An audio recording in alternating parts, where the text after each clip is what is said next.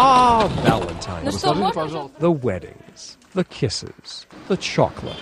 Across the globe, couples express their love for each other, whether by sending cards or attempting the longest kiss.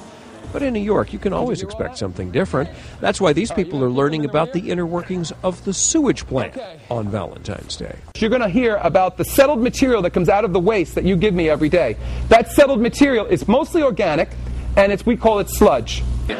Yeah, I thought it would be something fun to do, and you know, it's something that you don't ordinarily do, and I love doing things that are a bit different, so I thought it'd be a fun idea.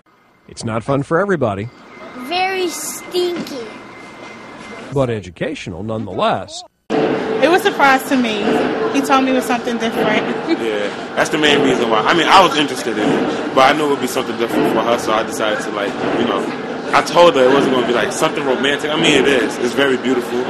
Beauty is, of course, in the eye of the beholder, and many of the folks on this tour were beholding the containment vessels at Brooklyn's Newtown Creek wastewater treatment plant. One pleasant surprise was the fact that the aromas wafting from these vessels smelled nothing like natural gas. So, how did this most unlikely of tours come to pass?